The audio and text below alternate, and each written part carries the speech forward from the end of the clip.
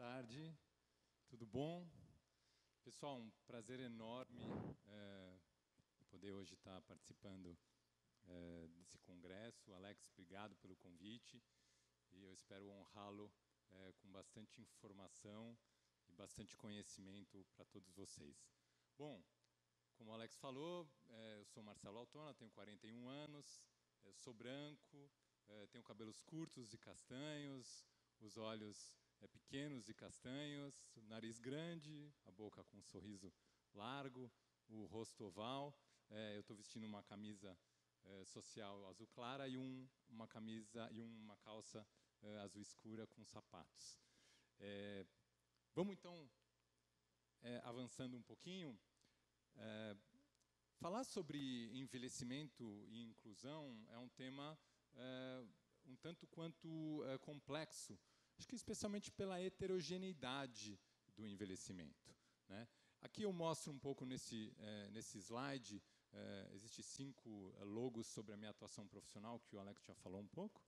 É, eu me, me, formei na Santa Casa, sou médico do, geriatra do Serviço de Geriatria do Hospital das Clínicas, eu sou médico do Hospital Israelita Albert Einstein, onde eu concentro a minha prática privada, e sou médico voluntário na APOI, que é a Associação de Profissionalização e Integração de Pacientes com eh, Deficiência Intelectual, e também sou médico eh, eh, do projeto Serendipidade, onde eu coordeno a frente de envelhecimento.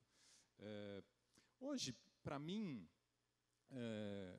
seria muito difícil se eu usasse hum, termos técnicos para falar a respeito do envelhecimento. Então, eu resolvi usar um pouco, diante de tanto experts, de tantas pessoas que estão há tantos anos trabalhando no assunto e eu me considerando um novato, é, eu preferi usar um pouco a minha visão de medicina que há 20 anos é, eu, eu, tenho e que eu acho que ela é muito importante e ela é fundamental no processo de envelhecimento, especialmente das pessoas é, com deficiência intelectual.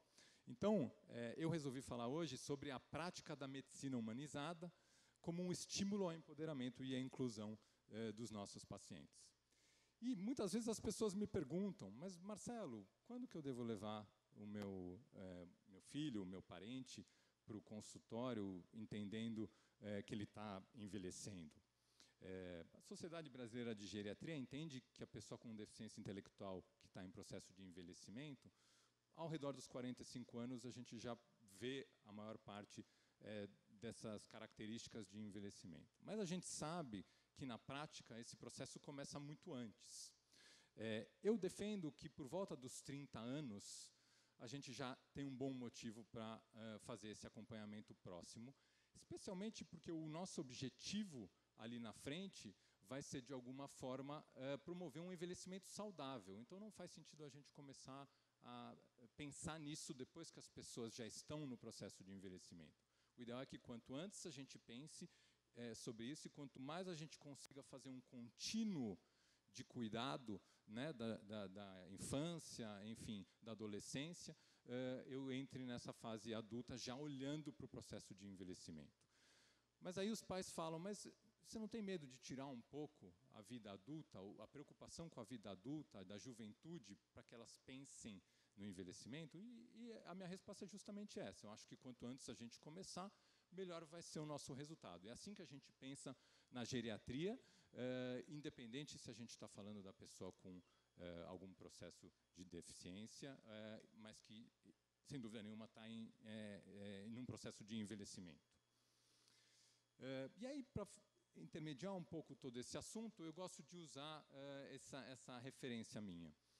quando eu estava no ensino médio, na minha época colegial, as turmas eram divididas em, em exatas, humanas e biológicas. Como se isso fosse uma super especialização, uma ideia para que as pessoas passassem no vestibular e que elas aprendessem, aprendessem melhor aquela informação naquele conteúdo para ter esse sucesso é, no vestibular. E eu vejo isso como um, um problema, né? especialmente porque, se vamos dar um exemplo simples, você pega um engenheiro que não tem nenhuma habilidade com pessoas, ele não vai ser um profissional completo. Se a gente pega um psicólogo, por exemplo, que não tem nenhuma habilidade com contas, com matemática, ele também vai ter algum tipo de dificuldade, por exemplo, para gerenciar as contas do seu consultório. E assim eu penso também para o médico. Né? O médico, é, que muitas vezes está preocupado, é, por, por, assim, com grandes motivos para isso, preocupado com o conhecimento científico e técnico, então aprender a prescrever, a medicar, a examinar, um médico que não consegue olhar na sociedade e entender o benefício né, da inclusão, o benefício que a inclusão pode trazer, ou o benefício que é, as pessoas vão ter se a gente observar a sociedade como um todo, olhar para a questão biológica, mas também psíquica e social, é, na minha opinião, esse médico ele vai crescer com uma deficiência. Ele vai acabar não tendo um olhar que ele deveria para essas questões. Então, eu.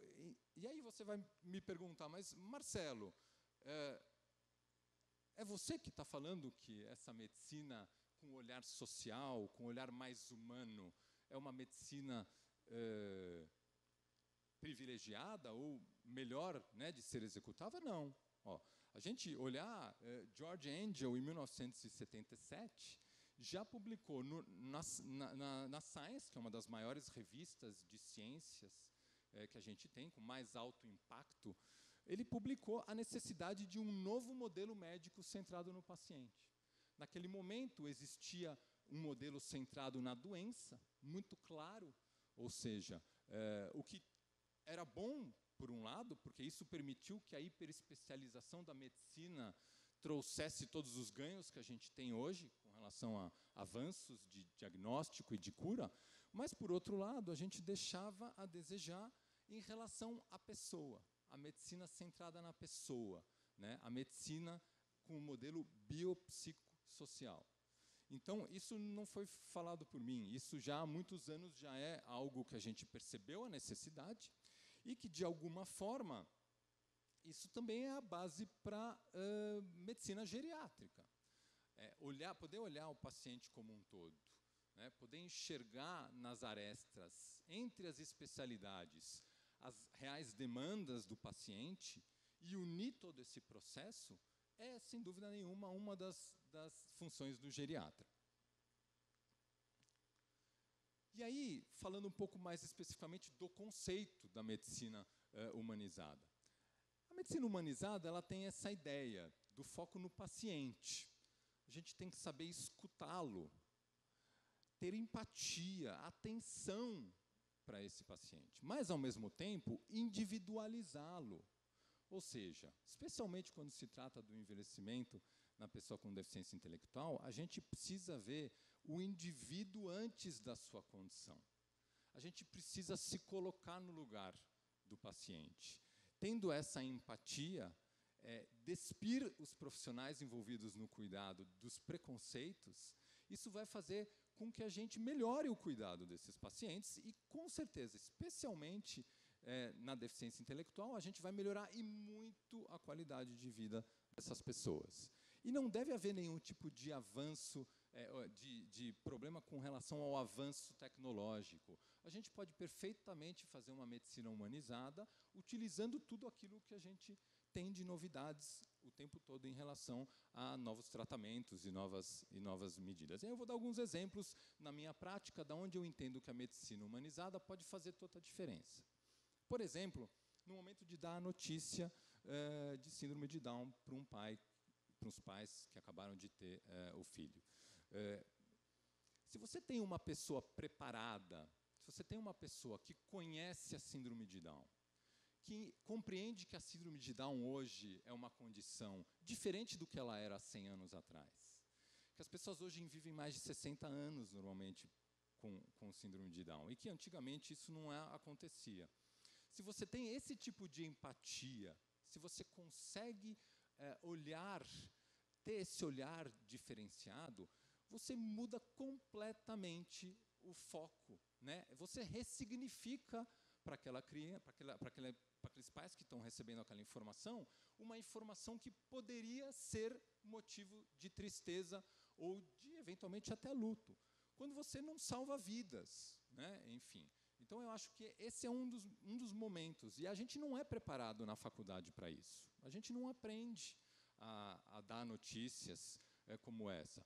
A gente sabe que o nascimento de uma criança com síndrome de Down acontece em 1 para 700, mas para todo aluno ter essa oportunidade é difícil. Então a gente tem que ter esse olhar. Isso tem que ser incluído na formação dos médicos para que a gente possa fazer essa diferença num momento como esse. Aqui, de novo, eu volto a reforçar o como a geriatria, no meu dia a dia, eu tenho essa capacidade, eu, eu recebo pessoas que têm acompanhamentos médicos múltiplos e que às vezes coisas simples não são percebidas, porque você adentra tanto na especialidade que às vezes algo que é mais superficial, não superficial de simples, mas superficial de mais fácil de ser reconhecido, acaba não sendo por diversas limitações. E um outro exemplo que eu gosto de dar, é, não sei se vocês já viram é, o documentário Creep Camp, é, que fala sobre empoderamento e inclusão na década de 70 nos Estados Unidos. É, lá, uma senhora, que na época não era senhora, dá um exemplo de quando ela era jovem, ela tinha paralisia, tem paralisia cerebral, de como ela, jo, enquanto jovem, ela deu entrada num pronto-socorro, e ao dar entrada no pronto-socorro com um quadro de dor abdominal, ela foi operada para retirada do apêndice. Mas, na verdade, ela tinha uma doença sexualmente transmissível que estava gerando aquela dor abdominal, que é a gonorreia. Então, aquele médico não foi capaz de compreender que uma pessoa que tinha paralisia cerebral poderia ter relação sexual. Então, isso é um exemplo clássico para mim de como o desconhecimento pode levar a uma prática e do quanto é importante o profissional reconhecer a realidade né, de todo o seu público, enfim, é, especialmente das pessoas com deficiência, obviamente, para trazer todos os benefícios é, para o cuidado dela. Como começou a minha história? Há dois anos atrás, eu recebi uma ligação é, dos projetos Serendipidade, que ele entendia que naquele momento, no seu início, a gente precisava ter uma lupa a gente precisava ter um olhar mais aprofundado para o processo do envelhecimento, justamente por todas essas mudanças que especialmente a gente via nos pacientes com é, deficiência intelectual e, obviamente, é, que esse foi o momento no qual eu entrei e, e comecei a, a, me envolver e estudar mais o assunto, apesar de, obviamente, já ter tido contato com a deficiência intelectual, com as pessoas com deficiência intelectual. E aí começou um processo é, intenso é, na POI, na qual eu comecei a, a coordenar um, um, ambulatório de 60, aproximadamente 60 pessoas que estavam em fase de é, envelhecimento, aproximadamente 35 anos, e eu tive a ajuda até do laboratório Gelfond, que nesse momento ofereceu para a gente é, é, laboratórios, exames laboratoriais, e eu entendia que aquilo naquele momento ia ser fundamental para eu poder dar um bom cuidado para aqueles pacientes. E aí, quero descrever essa, essa lâmina, porque eu acho importante. Eu tenho, de um lado, um médico segurando um estetoscópio, e do outro, eu tenho uma pessoa pulando entre dois penhascos com o sol atrás no pôr do sol. Qual foi a minha surpresa? Ao adentrar nesse mundo e observar essas pessoas que tinham em média 35 anos, eu percebia que muitas delas acabaram sendo privadas de uma experiência mais inclusiva, né?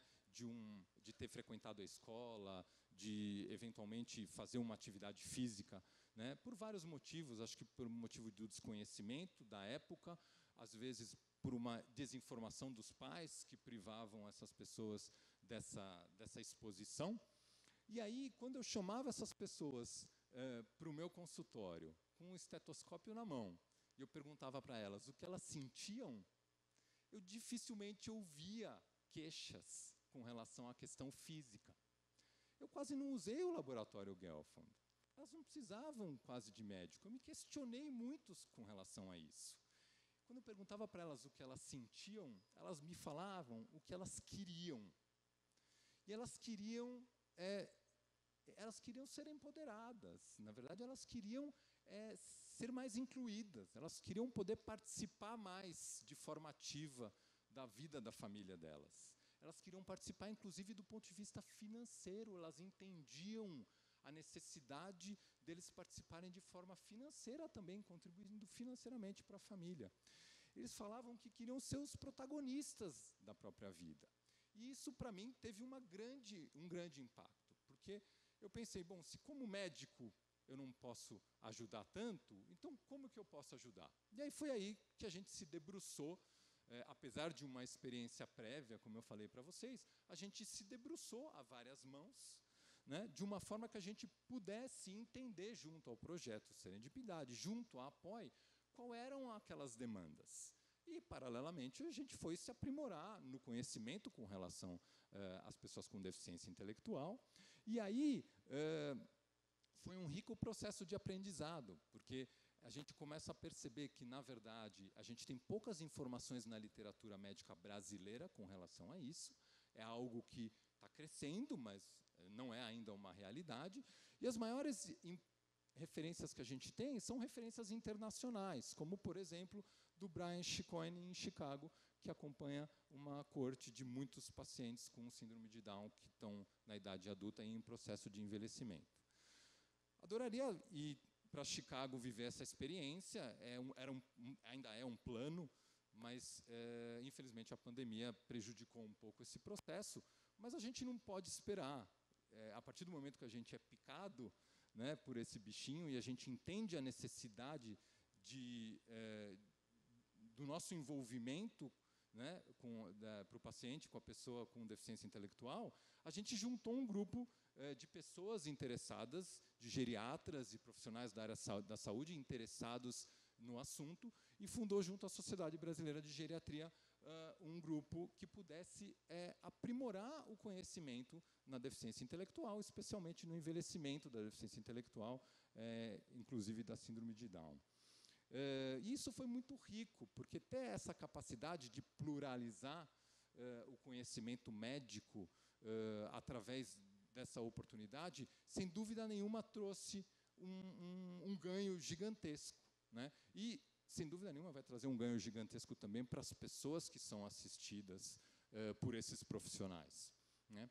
E aí, qual é a importância da gente extrapolar esse conhecimento médico para fora do consultório, tentando justamente eh, trazer essas informações e fazê-las mais eh, presentes na realidade médica do Brasil? E não se trata de ignorar avanços tecnológicos, e não se trata eh, de tratar as pessoas com bate-papo ou com um sorriso. A gente quer usar a tecnologia, mas a gente também precisa entender que para aquelas pessoas, é, para aqueles médicos que estão em formação, saber a respeito é, do que acontece é, no meio e com as pessoas com deficiência é extremamente importante para a formação médica deles. Não só o conteúdo que eles aprendem na faculdade. O meio, a soma de estímulos, a vivência que essas pessoas com deficiência adquirem, é essa coexistência inclusiva que a gente é, acredita traz ganhos gigantescos para essas pessoas. E é importantíssimo que a gente tenha esse olhar, uh, afinal de contas, se a gente não fizer isso, uh, a gente vai estar tá perdendo a oportunidade de cuidar da melhor forma do envelhecimento dessas pessoas. E aí eu junto algumas informações que a literatura médica me, me informa com relação ao envelhecimento em geral, como, por exemplo, os pilares da medicina do estilo de vida. A gente sabe, e foi dito hoje aqui muitas vezes pelos profissionais que já deram a aula, deram a mentoria. O sono é essencial no processo de envelhecimento com qualidade. Um bom sono, um bom exercício, fazer atividade física, a dieta, o manejo do estresse, a socialização. E isso eu não estou falando das pessoas com deficiência intelectual, mas também se aplica a elas, porque isso são estudos feitos em pessoas típicas. Isso, sem dúvida nenhuma, tem o poder de melhorar a vida das pessoas, de prevenir doenças e de proporcionar um envelhecimento saudável. Afinal de contas, a gente sabe, não é à toa, a gente sabe que genética não é destino. A gente sabe que se essas pessoas forem estimuladas, se elas foram, se elas é, tiverem é, todo o, o, né, o, os estímulos adequados, a gente vai poder não só uh, ter uma vida mais plena e praticar esse, né, e vê-las praticarem esse processo de empoderamento e de inclusão, mas ao mesmo tempo a gente vai poder fazê-las viverem mais e melhor. Disso a gente não tem dúvidas. E aí, como trilhar esse caminho? Né? Ou seja, como continuar e como estimular isso, esse crescimento é, é, de todos os lados. pluralizar o conhecimento e o atendimento, levar esse conhecimento é, é, do meio ambiente para as escolas médicas, para as residências médicas, mostrar isso para os alunos que um dia vão ser médicos. Isso é essencial. Um médico precisa saber que uma criança matriculada com deficiência intelectual, matriculada numa escola regular, que isso traz benefício para aquela criança, mas para aquelas pessoas que estão envolvidas naquele processo. Essa diferença, ela é fundamental na vida dessas pessoas, especialmente na pessoa com deficiência. O médico precisa sair da sua zona de conforto. Ele precisa frequentar um pouco essas entidades, como o Instituto Jô Clemente, como a turma do Giló, a JR Para Desporto, a Fundação Dorina Noil, a ACD, Apoio, Serendipidade, a DID, a DER. Eu podia ficar aqui dois anos falando de todas essas entidades. Os médicos precisam se aproximar disso, precisam entender o que está acontecendo à sua volta, precisam entender o meio ambiente, porque essa medicina mais humanizada pode fazer a grande diferença na formação é, dos médicos, mas especialmente na vida dessas pessoas. E aí, eu deixo uma frase eh, final que eu acho importante, eh, que é quebrar as barreiras do mundo médico através do próprio exercício de superar os, os preconceitos é fundamental para a gente evoluir nessa caminhada. Super obrigado pelo convite. Foi ótimo, Alex. Obrigado.